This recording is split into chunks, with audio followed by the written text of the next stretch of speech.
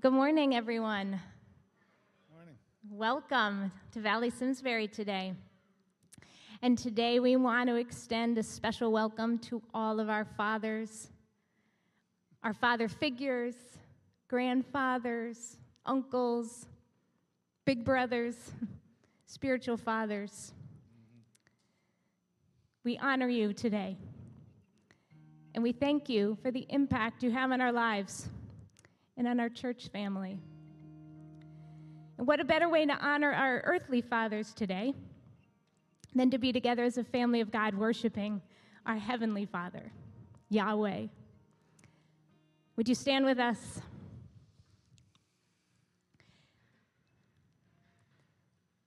Come bless the Lord with me. For the Lord is like a father to his children, compassionate and merciful, filled with endless love. He forgives our sins and heals the sickness inside us. He surrounds us with love and mercy and fills our lives with good things. Let's worship God, our Father, together.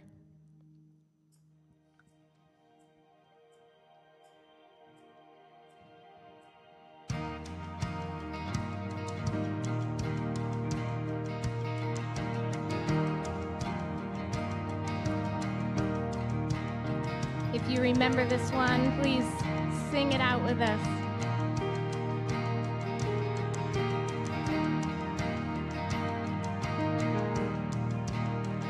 Lord, you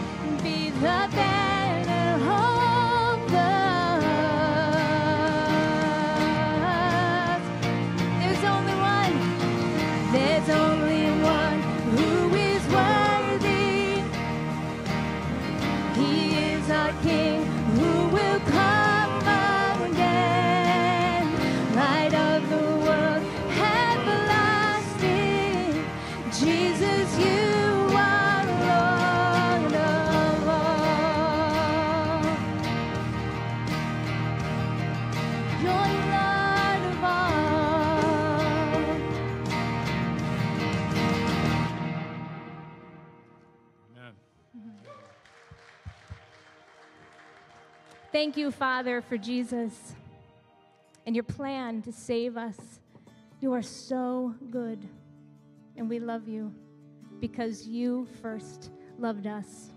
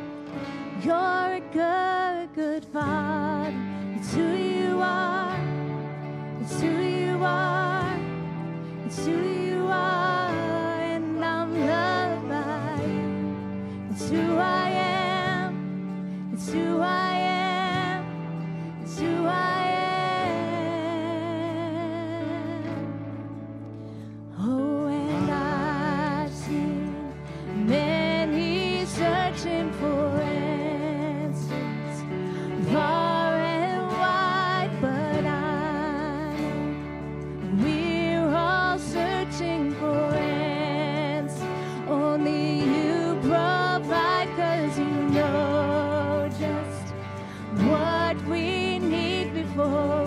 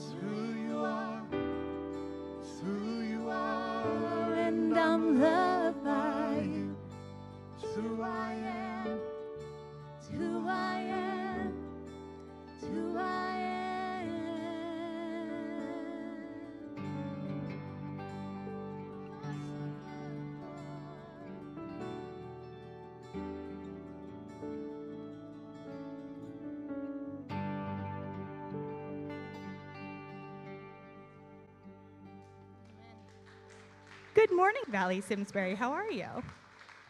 Good.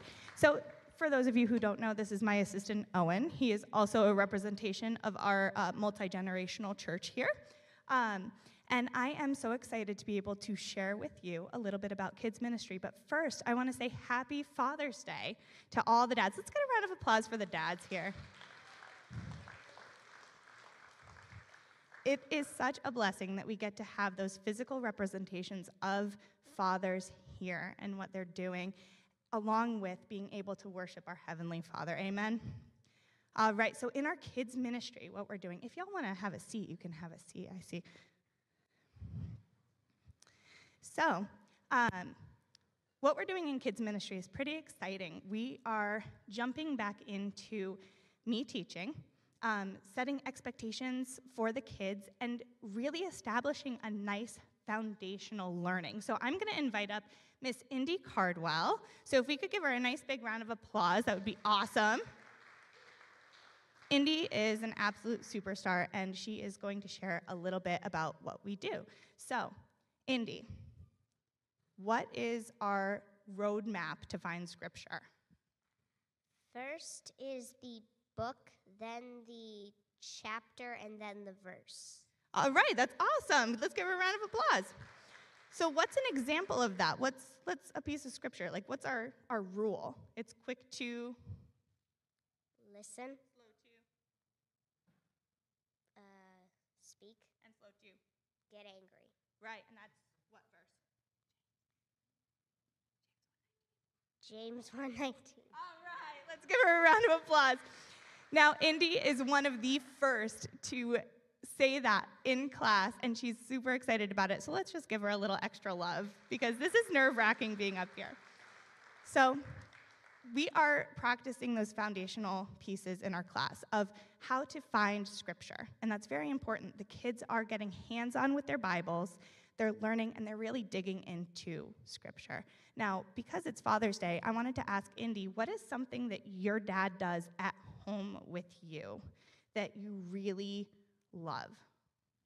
She, he's actually having me memorize some five important verses in the Bible over summer.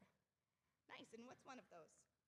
Um, I forget what verse it is, but it says, For God so loved the world that he gave his one and only Son, and whoever shall believe in him shall not perish, but have eternal life.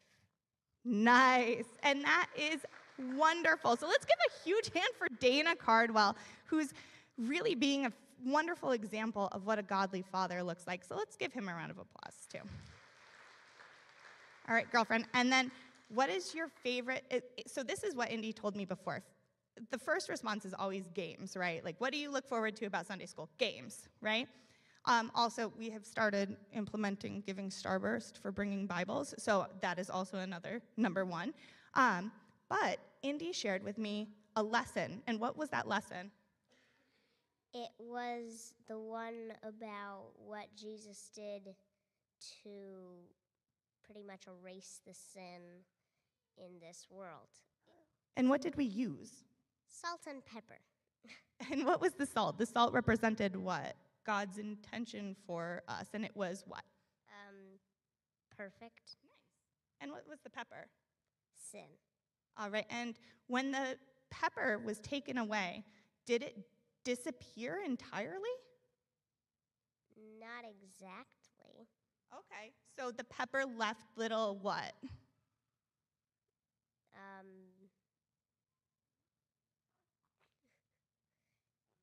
Holes.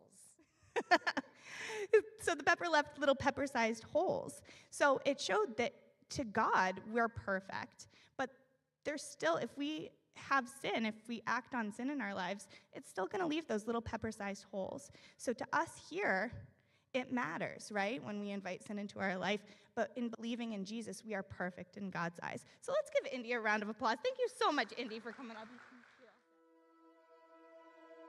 This one is for the fathers and all the father figures stepfathers, grandfathers, godfathers.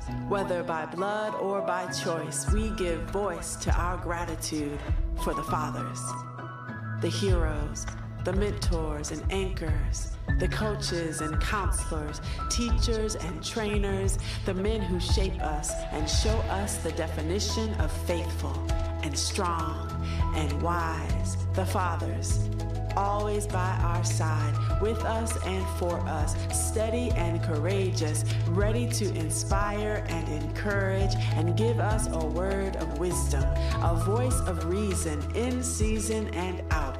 There is no doubt where their strength comes from, what their hope is set on, who their eyes are fixed on the fathers.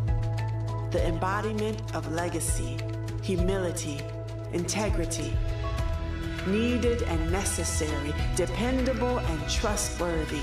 The fathers, the men who lead and love and believe in us even when we don't. The fathers, the men who nurture and point us toward purpose, almost bigger than life, but always down to earth. The fathers, the men who give guidance, direction, and keep everything in perspective, making room for us to grow.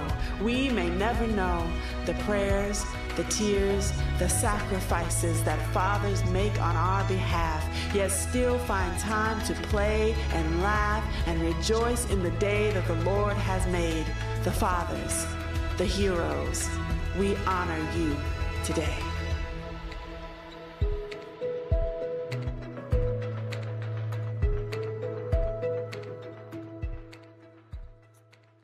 Right. Well, hey, we're going to have kids go to kids' classes now, but before you do that, kids, stand up. Give your dads, if you have a dad in the place, a big bear hug and say, I love you. And if you don't, uh, if dad's not in the place today, just give one of the men around you a fist pump and say thanks for being, uh, being with us today. Harper's got to find some, some man over there as she's, uh, as she's taking off. But uh, kids can go to kids' classes.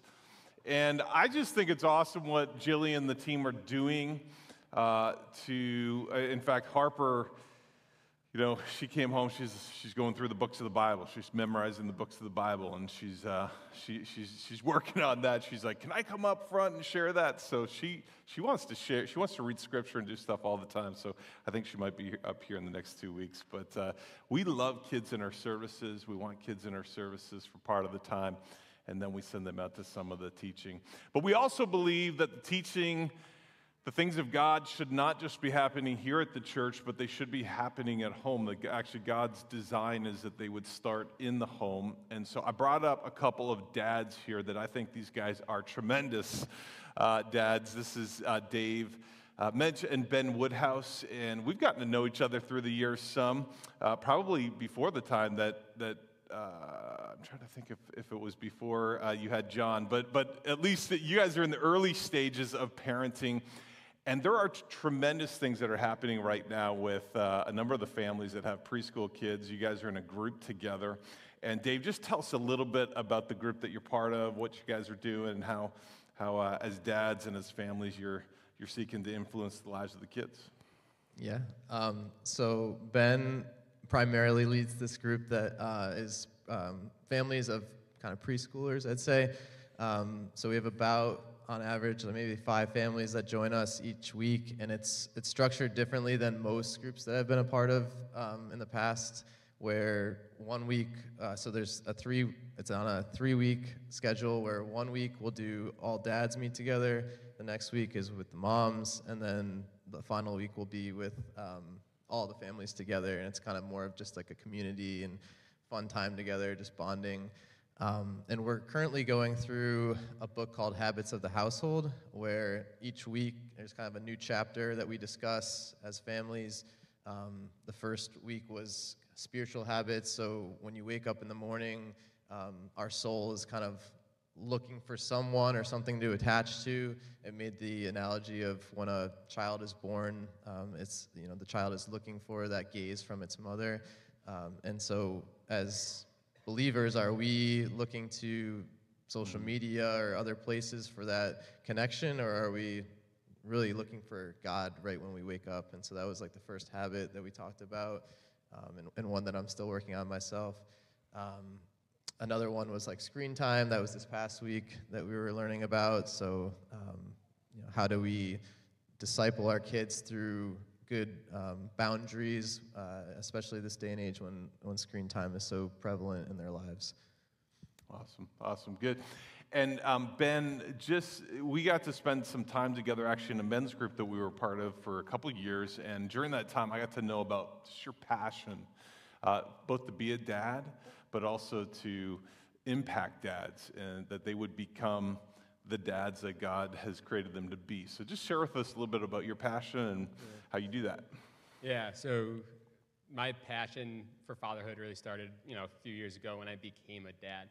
Um, and I guess a passion for present fatherhood, not just physically present fatherhood. While that's super important, and I know there's, you know, an issue in society with that today, but emotionally present fatherhood. Uh, and what I mean by that is like I feel like that video alluded to a lot of it, but like as dads, as you know, many of you know, like we're not here just to be uh, you know caretakers of our kids. We're not just here to provide and protect our family, although those are like super godly habits and amazing. But we're also here to pour into our kids, to lead them, to grow them, to help them know that they're loved by God and loved by us. And uh, yeah, it's just, again, there's, this, there's so many studies. If you look it up online, secular studies of the importance of present fatherhood. Again, not just physically, emotionally as well. Um, so, as you can tell, I'm super passionate about this because it's clearly so important. It's incredible. Um, but yeah, so I guess how I do it, how I, you know, I guess share this passion um, and try to uh, encourage dads or help dads be the dads that they're called to be is just finding small ways to encourage them. So whether it's my brother-in-law after hanging out with him, or if I'm hanging out with a buddy uh, and their, you know, and their daughter, and I see how loving they are to their kid, or running into a dad at the Flower Bridge in Simsbury on a walk, calling out that, hey man, like the way that you're loving on your kid right now is amazing. Like that is going to have such an impact on them and for their entire life. And not just their lives, but their kids' life and their kids' life and their kids' life. Like what you're doing by just loving on them and being present with them, that's going to make an incredible impact in society. So, like, you know, just stuff like that, finding little ways, just running into them and encouraging them, because fatherhood is so, uh, you know, as again, many of you can, can attest. I mean, I am a father of little, so it's, we're in the thick of the, you know, the thick of it, but also I'm sure as fathers of older kids too, like, there are hard parts. So, to be able to be encouraged by another person, um, and, you know, in that hardship is just so impactful. Like, I've experienced that impact and I've seen that in others. Um, yeah, so. Awesome. Good. Uh, just so, just final qu- question, and we'll just be brief with this, but uh, and we'll start with you, Dave. Give you both a chance to share. But I remember someone asking me. I think it was probably six months, a year after Haley was born. Haley's our oldest child, and and, and this guy, he was a pastor, a friend of mine. And he said, "Hey, what do you know about fathering? What do you know about God? What do you know about life?" now that you're a dad that you didn't know beforehand, right? Because you learn things, uh, you know, in this journey. And so just share with us a little bit about what you've learned this past year in the, the journey of fathering. Yes, great question. Um, I think the biggest thing for me has been um, a dependence on God. So when you're single, um, I guess before marriage, marriage kind of teaches you this too, but um, you, you can kind of rely on yourself a little bit in, in, in sinful ways, kind of depend on your own strength. Um, but when you have a kid or a wife to take care of, um, you can't make decisions for those people. And so you ha- really have to kind of pray a lot and, and trust God with different outcomes and, and, decisions that you're making in life. So um, we sing a song here, I, I think a lot, um, at least in my mind, it's a lot because I love it. It's Abide. Mm-hmm. Um, and it talks about, um, you know, depending on God for the sun to rise, depending on God for our sleep at night. Things that we don't typically, we just take for granted and we don't realize that they're actually from God. Like tomorrow, the sun rising is because of God. Um, so I think that would probably be the, the primary thing is just learning that I, I can't be self dependent, that I need God, and, and for it to be more tangible. Amen. Thanks. Yeah, and I say what I learned, I was just telling my wife about this probably a couple months ago, is uh, so I guess with my son, so we have a 10 month old and a almost three year old. If you ever see a three year old running around with a fire jacket on that's like torn up like crazy, that's, that's my son. Um, but, anyways, so I'll look at him and I'll be like, buddy, like, do you know how much I love you? Like, I love you more than how many fish are in the ocean, how many stars in the sky. Like, I love you so much, buddy.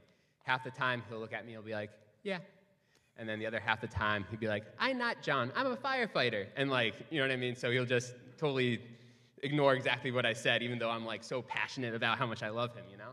but anyways, to bring it back to the question is like, he will never know how much I love him. Like, never. In uh, it's Ephesians, I don't know what verse it is. You know, maybe you guys do, but in Ephesians, you know, the verse about how high, how wide, how deep his love is. You know, we pray that you know you know that love, although you will never, never fully understand the love of Christ. And it's like, whoa, like I love my boy more than he can ever imagine, but God loves me that way and even more than that because I cannot even imagine the depth and the height of his love. Like that, I feel like that parallel has really been like impactful for me. Amen. Amen. Well, may you know the love of God as well. May we get to know that more. And I just uh, honor these guys and honor all the dads in the room that are stepping up and being the dads. So thanks so much, guys. Let's give these guys a big hand. Would you stand with me? Stand with me. We're going to sing another song, and I'll let the, the team introduce that in just a moment. But I just want to say this um, Pastor Doug has been amazing in so many ways um, through the years. Um, I think, I think as a dad, uh, his persistent through the years, but, uh, but also just uh, in the church. And so he's going to preach today, so I'm excited about that. Uh, I wanted to just say thank you, Doug, because man, it's a blessing to be able to come to church and get fed and, uh, and just receive today. And also, I was sitting drinking my coffee, hanging out with my kids this morning rather than uh, getting ready. So I just wanted to say thanks. I'm excited for Doug to preach today. But uh, before he comes, let's just uh, turn our eyes to the Lord again. We're going to sing a new song today and that's based on the last two verses of the book of Jude. I want to read them to you. To him, who is able to keep you from stumbling and to present you before his glorious presence without fault and with great joy. To the only God, our Savior, be glory, majesty, power, and authority through Jesus Christ our Lord, before all ages, now and forevermore. Amen.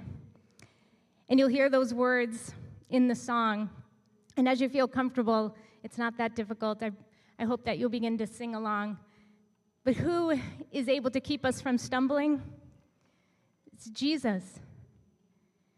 Not us in our own strength or in our own goodness, our own effort, our own perseverance, our own striving, or our own might, or anyone else's striving for us, for that matter. It's Jesus. He is before all things, and in Him all things hold together. Let's sing to him.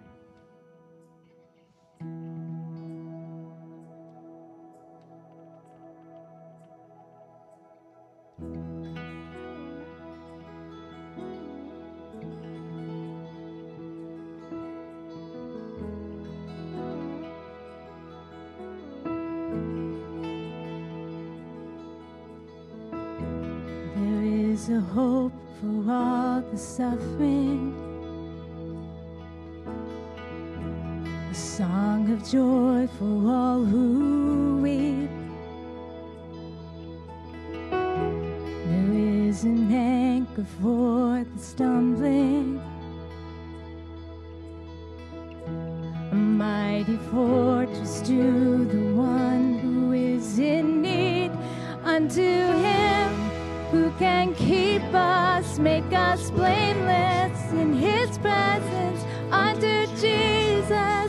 unto the only God, and unto him who has saved us, be all glory,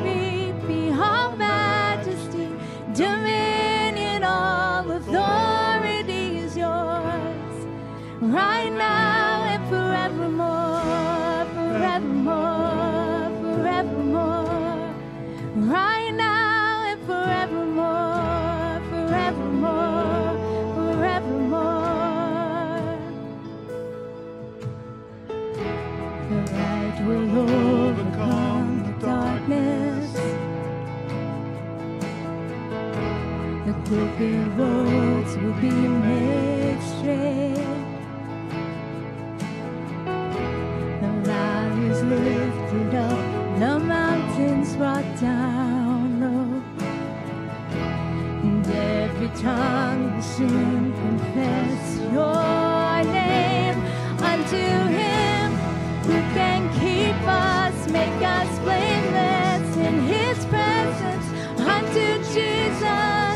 until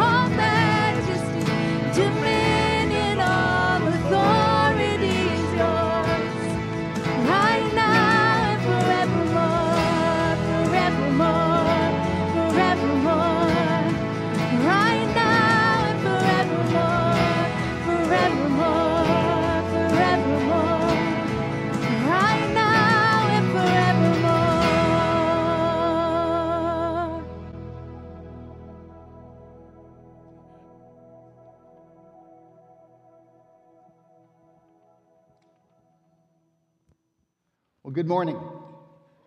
Let's start our time of uh, teaching this morning by reading from Scripture.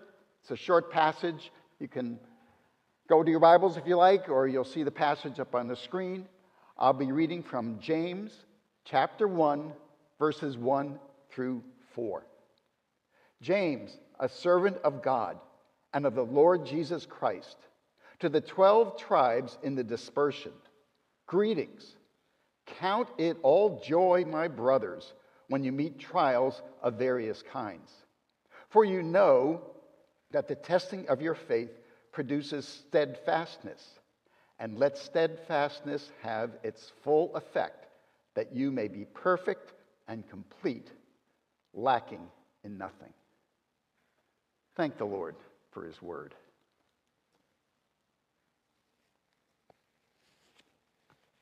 Now, let me ask you a question. What was the size of the family that you grew up in? I had four brothers and two sisters. It was a lot of kids. And getting the attention of my parents, wow, was that competitive. But the really strange thing about my family was my big brother. He was an overachiever, to say the least. And I think it was more than just the fact that, you know, he was the firstborn, and firstborn are they're always supposed to be rule keepers and people who do things right and all of that, but uh, he was almost otherworldly in the way he went about things. Now, all of us guys, we learned how to be carpenters in my father's shop. And you know, my big brother, he always seemed to catch on faster than the rest of us.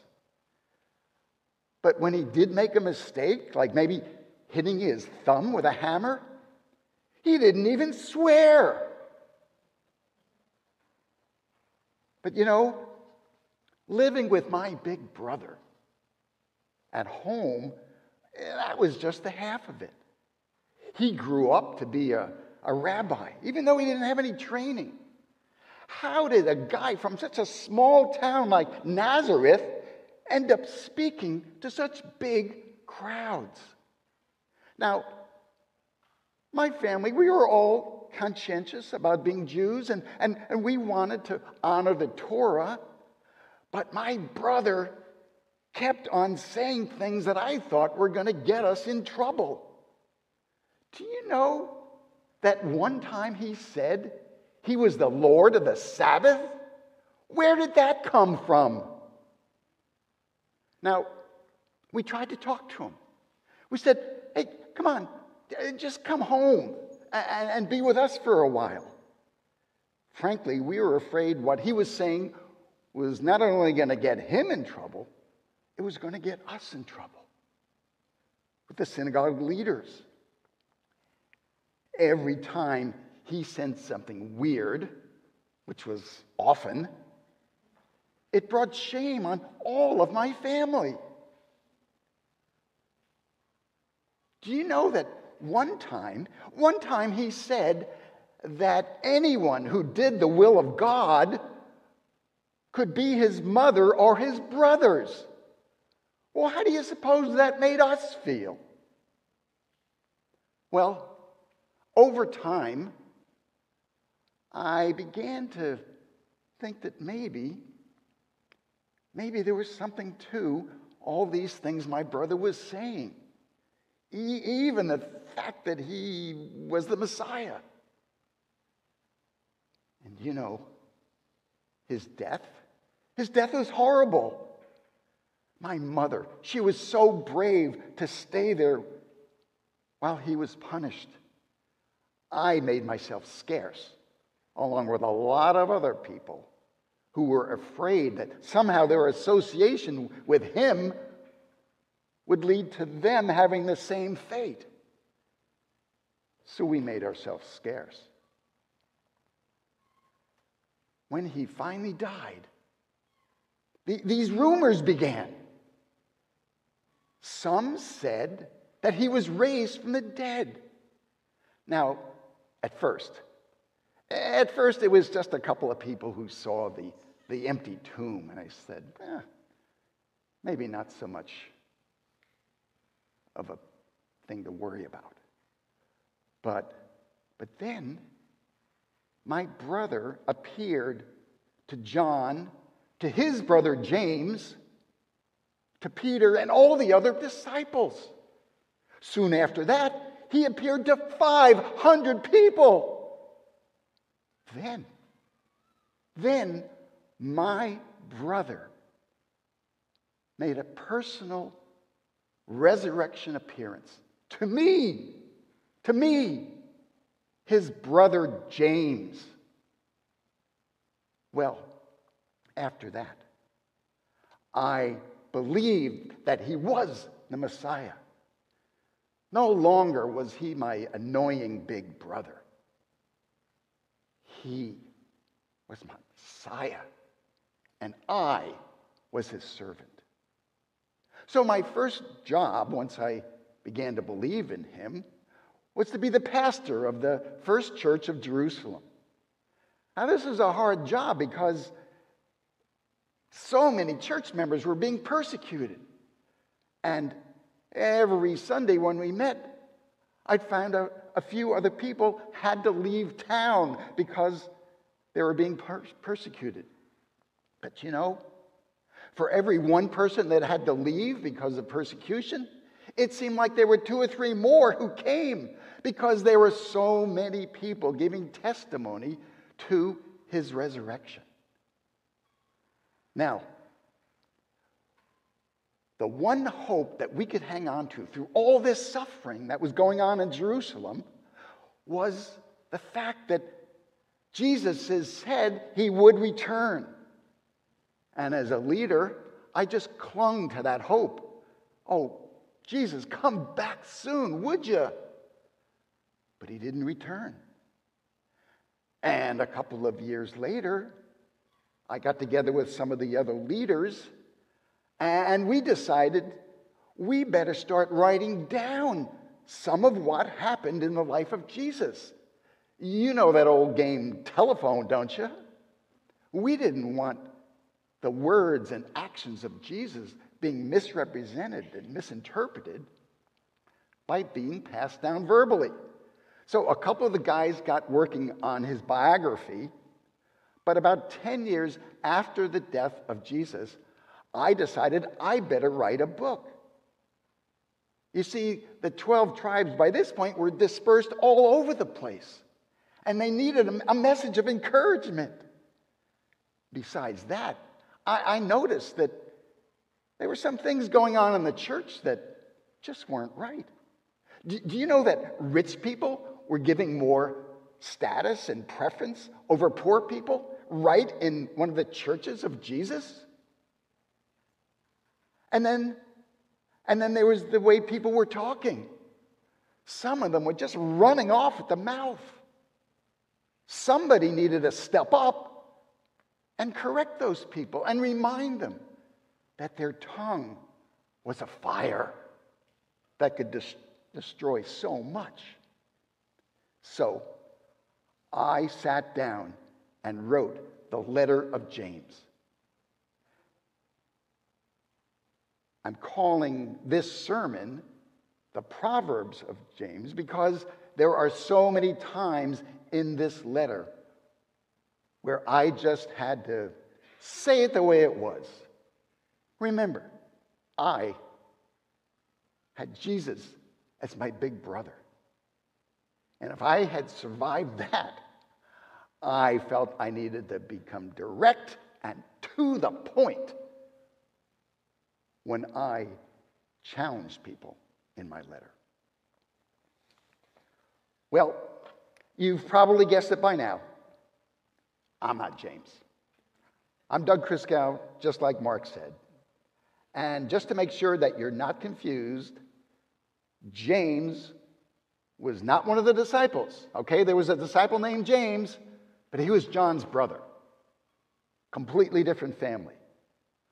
I was James, the brother or half brother, if you want to be highly technical, of Jesus. And yes, I grew up as a non believer until the circumstances took place that I just described to you. But now let's, let's turn our attention to this first four verses of this book of James. This book we're going to study all summer. I'm just kicking it off. So, the first statement that James makes after the introductory verses is immediately like in your face. And that's the tone of this book all the way through. And I, I, hope I've been able to describe why that might have been the approach that James took so often. There are over 50 imperatives in James. The, the, the book only has five chapters, James comes after us with all these challenges because he's convinced that the only real proof of our faith is our actions. So James wants us to act properly, and he makes no bones about it. James states some very lofty expectations. And the first one that we're going to be talking about today falls right into that category. On the surface, uh, the idea of being joyful in trials, it sounds ridiculous. How could you possibly have joy in trials? James further reminds us in this little four verse passage that it's not a matter of if we're going to have trials, but when we're going to have trials. Now, I know that if you're a student, you might think, ah, oh, once I get out of this class with that crummy teacher, things will be good. Or if you're employed, oh, once that boss of mine retires, things will be good. Or in your family, oh, once this kid leaves home, I'm good. But you know, I've been through all those experiences. And I'm here to tell you, there's still trials. You know, like I'm retired. I don't have to worry about money. I don't have to worry about time. You know, those things were so critical to me when I was working. Now, I am still working. It's just that I'm not getting paid. That's sort of the definition of retirement. My wife, right now, is reading a book on how to parent your adult children. She's not reading that book because everything's going just fine with our adult kids. And if you are anticipating being an empty nester and thinking, wow, what a difference that's going to make, think again. the fact is, we are always going to be facing trials. Look at it this way the only person who really has all his problems behind him is a school bus driver. So, if trials are inevitable, then what should be our response? And my idea in addressing this whole issue is to first examine some of the typical responses we have to trials, sort of following uh, up the ladder, so to speak, and literally, steps of maturity. So, who needs Vanna White when you have Christine? She'll be showing you what these responses to trials are. The first one is tears. Now, anybody who's got a four year old knows the routine. Something happens to the four year old and they cry, they scream. And the mom or the dad, they go and they hold them and they, you know, clean the cut or they feel the bump in their head or whatever it is, they take care of it. They sort of bring things down a little bit. But you know, if that four year old advances to the fourth grade and every time something happens they burst into tears, mm, that's not, that's not so good. I had one of my 11 grandchildren who had that problem. He was crying as much in the fourth grade as when he was four years old. Now he's a 16 year old baseball player in his high school, and I am oh so glad that when he strikes out, he doesn't cry anymore. Now there's another response, and there's all kinds of ages where this shows up, but I'm going to pick on teenagers just for a minute, okay? The response that often happens is anger. Now, I take this out of my personal family history as a dad and with Christine, the mom. And we had a teenage girl, and she was wonderful most of the time, but sometimes she'd encounter a trial and she would just lose it.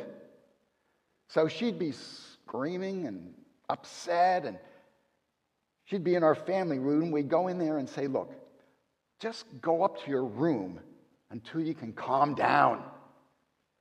And you know, I could almost time it.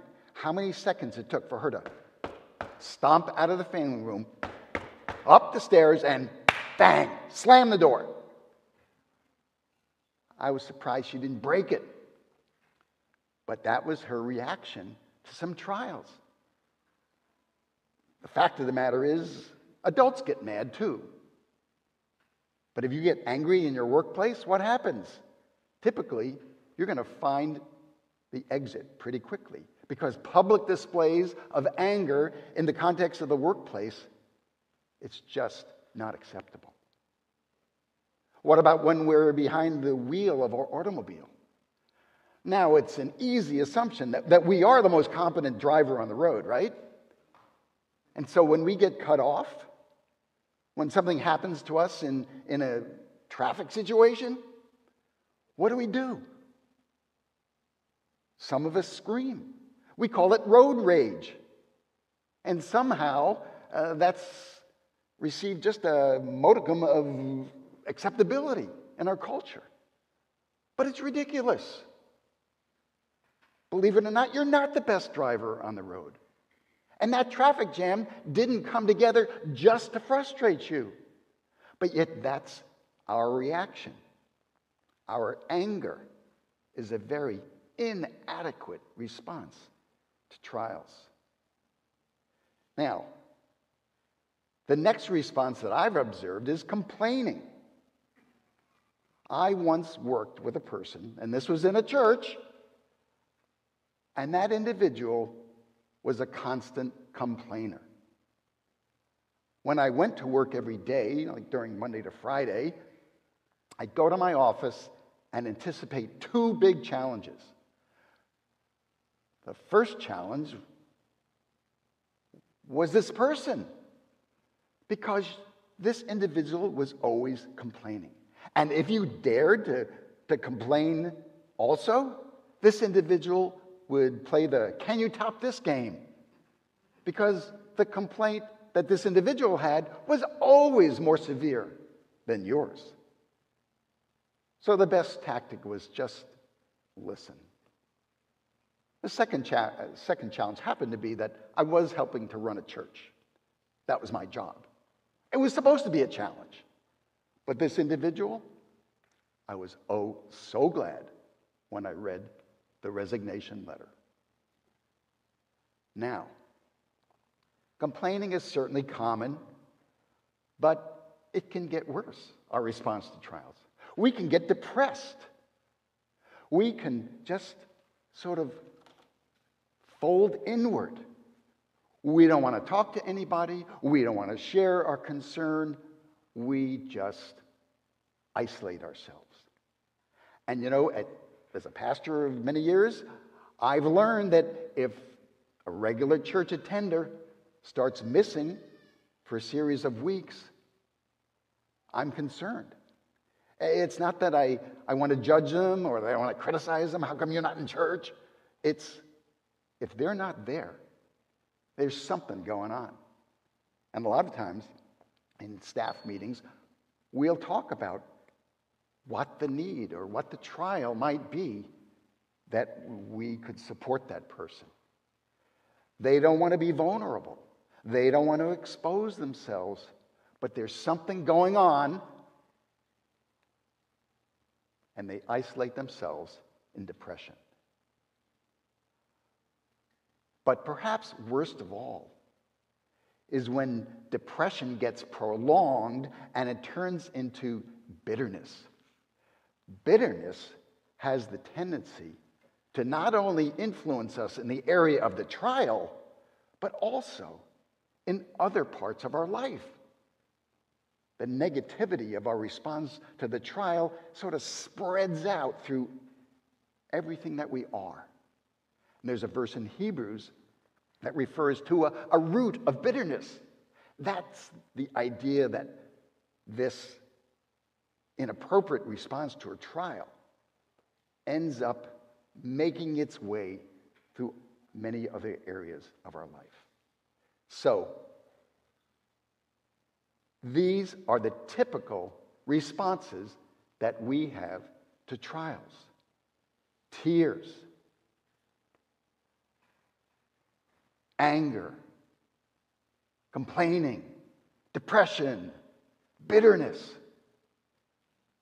I'd like to ask as you face your trials with those five responses, uh, how's that working out for you? Is that making your trials any more tolerable?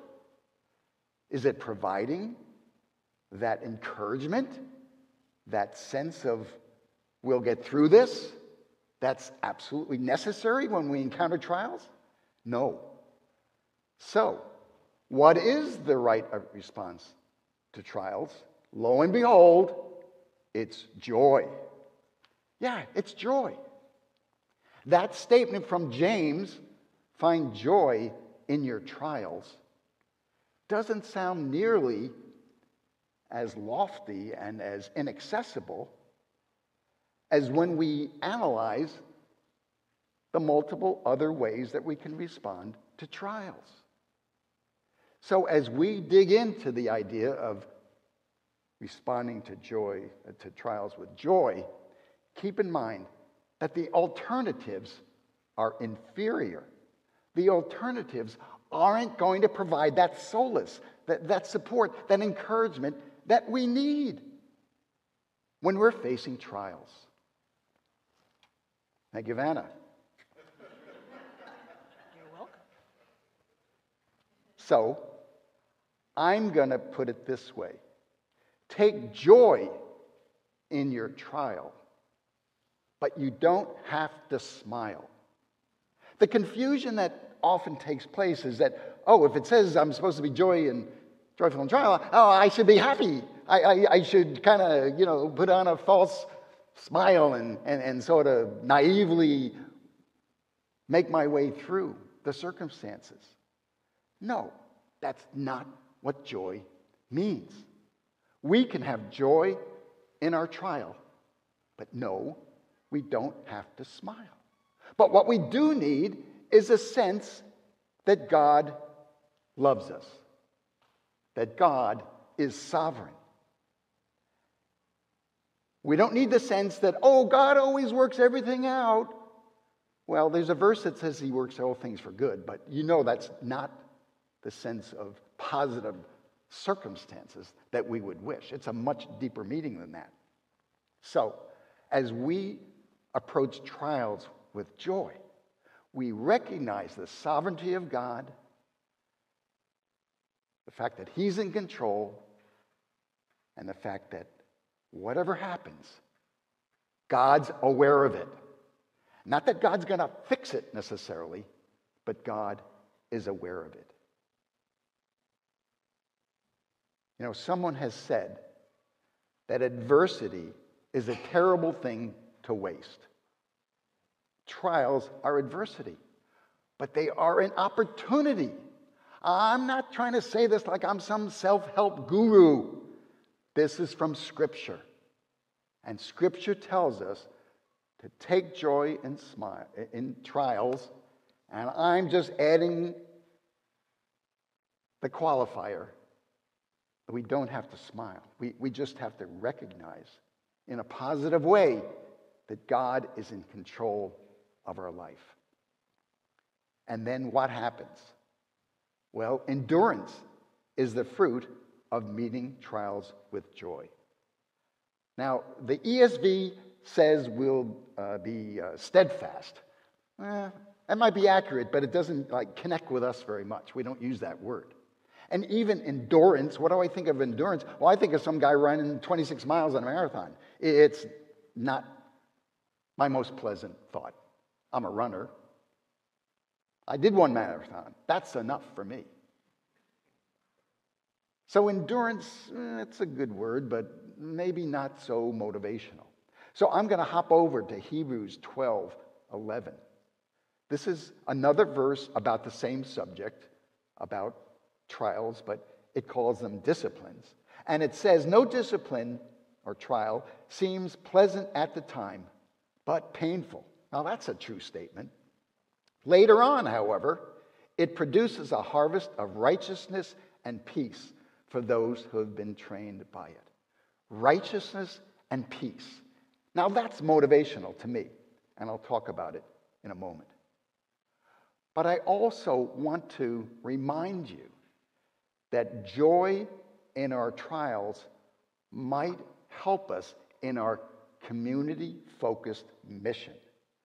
Community focused mission? What's that? I hope it has a somewhat familiar ring to those of you who are regular attenders here, because that's one of our five priority statements. And community focused mission relates to what Mark talked about with last week's sermon about the idea of neighboring, connecting with people where you live, work, and play, bring gospel fluency. You know, all those buzzwords are wrapped up in community focused mission. Wherever God sends us, that's what mission means in this case, wherever He sends us, we're supposed to represent Him. So the question is will our uh, response to trials mean anything to the people who are around us. Now, you're going to hear about this if you're not aware already, but we're doing studies about Simsbury and you know people who live within 20 minutes drive of here and so forth. And what we're finding out is the majority of them have no interest in God. Now, you probably didn't need research to figure that out if you've tried to express your faith with people you know, but that's the story. So we have an opportunity, actually, if we can find joy in our trials as people who have no interest in God observe us. Again, I'm not suggesting that they're watching you and trying to figure out what you're going to do. It's just not that intense, even though we tend to look at it that way. There was a lady who went to a funeral in Avon several years ago. Now, in her church experience, she had been told that there's no telling what actually happens to a person who died. She went, went to church, she was a regular, but it was another religion essentially. And she came to this funeral because she knew this person, and you know how that goes. You, you want to be supportive of the family. So she showed up. She was dressed in black. She was expressing, uh, anticipating a very depressing service. But she noticed something about the grieving family. Now, yeah, they were grieving, but, but they were hopeful. They were sure of where their past loved one was at that moment. And she stood up and she took notice. Nobody was coaching her. Nobody was saying, hey, hey, look at that joy. Nobody was doing that. She was sitting there as a casual observer, coming to the funeral of a friend, willing to go to a different church because that's where the friend went to church. And all of a sudden, it began to dawn on her. There's something different about what these, the way these people are grieving. So, voluntarily, no one invited her, but she started attending Valley Avon. And not too long a time later, she received Christ as her Savior. No one witnessed to her, no one explained the gospel to her, no one did anything except do what you do if you're a Christian who loses a Christian loved one. We don't call it a funeral, we call it a celebration service, right? Celebration of life because we know that that life continues. I was in grad school uh, a long time ago, obviously, and the second day of classes, I had to go to the infirmary. I had had a very exhausting summer, and I was sick. So I was in the infirmary for 10 days. Our semesters, the way they were constructed in that school, were 10 weeks long. So I got out of the infirmary. There was limited time left. I had done no schoolwork for the 10 days that I was in the infirmary. And in being released from the infirmary, the medical people said, Look, you can go to class, but you've got to get your eight hours of sleep.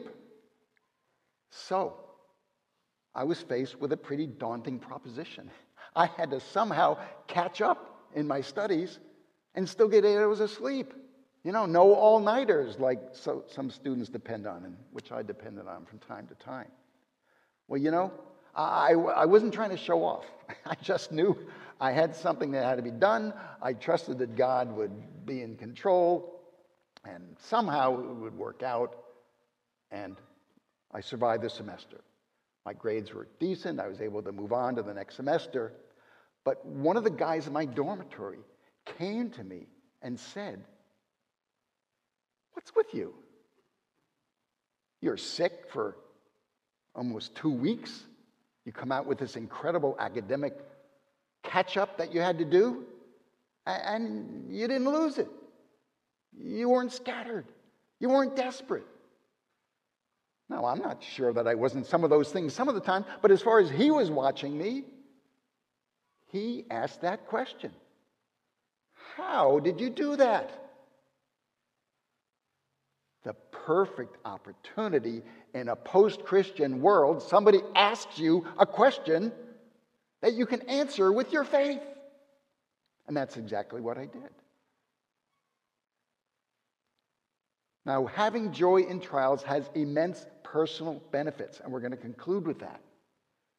But bear in mind that as you go through trials, there just may be people who are watching. You may have heard that statement from C.S. Lewis God whispers in our pleasure, but he shouts in our pain. That's true for us personally, but he may just shout loudly enough to capture the attention of other people around us who are not God followers, but who are wondering about what's going on with you that you can respond the way you're responding to getting let go from a job after 30 years, or losing a child due to some horrible situation. These are real situations. We're going to encounter them. It's not if we have trials, it's when we have trials. And when we have trials, if we can seek that standard of joy, recognizing who God is and what His place in, our, in our lives, it's going to help us and it's going to say something to people around us even when we may not realize it. So, what do you really want out of the Christian life? I mean, right now, heaven's a pleasant idea, but none of us, you know, are anxious necessarily to get there. Right now, what are you looking for? I'd say, I'd like a harvest of righteousness and peace. You know, I've lived long enough to know that Living righteously, it's, it's really a pretty good deal. There are a whole lot less problems by living righteously than by pursuing sin. And secondly, I want to have peace. Now, I'm not suggesting uh, that you're going to have peace, you know, as you walk out of the office that you've been in for 30 years and now have been told you no longer need it in that very moment, I'm sure there's going to be some angst. But in the big picture, as you go home, as you, as you pray about whatever that trial is, as you share it with other Christian people, you get that peace. You get that peace. What a reward for seeking to be joyful in trials. It's almost indescribable. So let me say one more time take joy in your trial. You don't have to smile. A watching world will notice when you show trust rather than turmoil. Let's pray.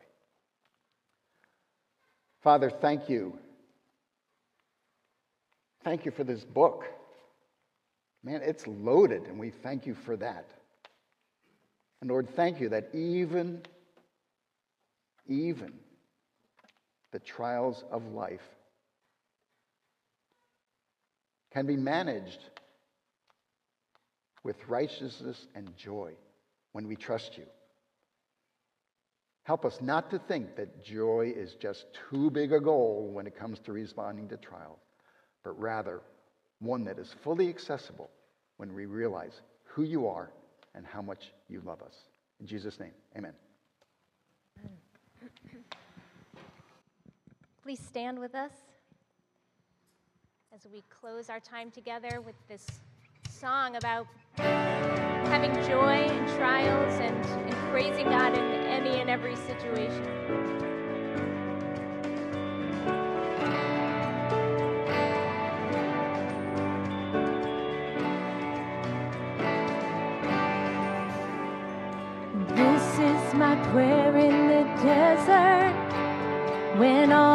Within me feels dry. This is my prayer in my hunger and need.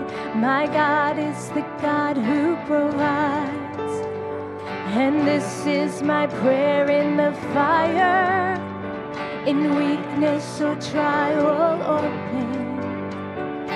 There is a faith proof more worth than gold, so refine me, Lord, through the pain.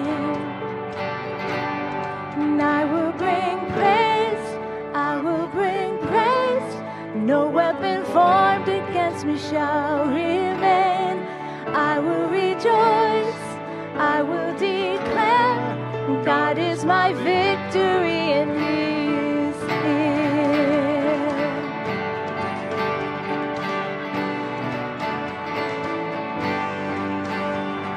And this is my prayer in the battle when triumph is still on conqueror and co-heir with Christ, so firm on His promise I'll stand. I will bring praise, I will bring praise. No weapon formed against me shall remain. I will rejoice, I will declare that God is my victory